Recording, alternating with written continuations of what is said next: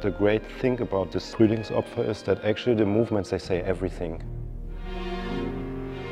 It's a work of art that always opens new possibilities.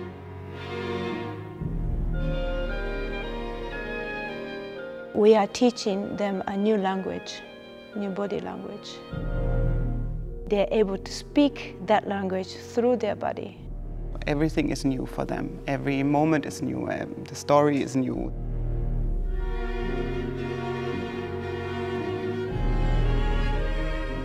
I think when you are helping to stage the Frühlingsopfer, that you have to have a willingness also to share your own secrets or some things that you discovered for yourself. And now you, you are willing to share it with the dancers you're giving it to. There's a moment where everybody is making a big circle and you're not going into the circle, you're pulled into the circle. Everybody can find their own way. What is being pulled into a situation, into a ritual situation.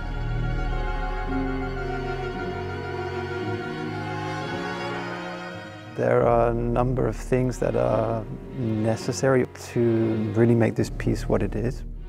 One of those things is, uh, is a willingness to keep trying, to reach further, to enjoy more. There's always this want and this willingness to keep searching, keep finding.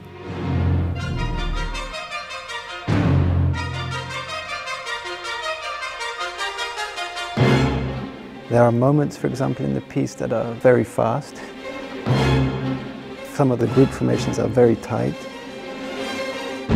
That can be very frustrating. So there's also some kind of mental approach to work through these things or work with them. You never know what's going to happen because there are many factors. It's a little bit unpredictable. You have the earth on the ground. That is every day different.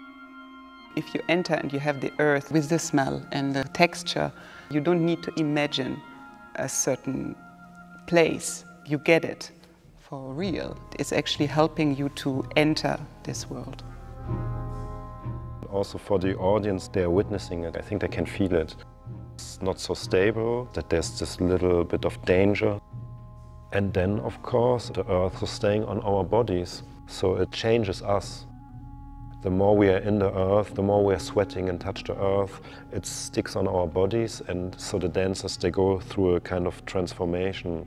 You feel them quite clean in the beginning and then they get dirtier and dirtier and they become different. Dancing Frühlingsopfer, the chance to see what you can do, what can you manage, how far can you go, what kind of experience can you have. And it becomes something not about the steps, I would say what I also wish for dancers we work with, that they can experience this journey and also experiencing that they are capable of doing more than they believe they can.